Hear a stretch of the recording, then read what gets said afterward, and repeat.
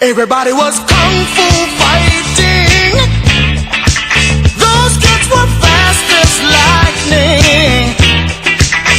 In fact, it was a little bit frightening. But they fought with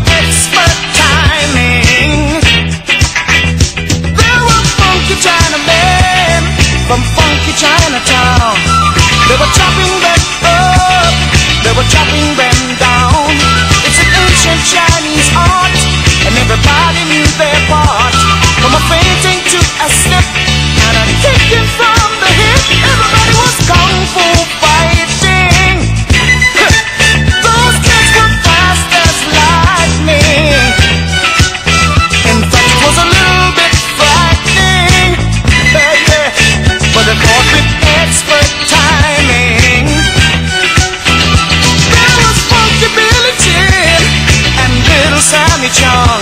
He said, Here comes the big boss. Let's get it on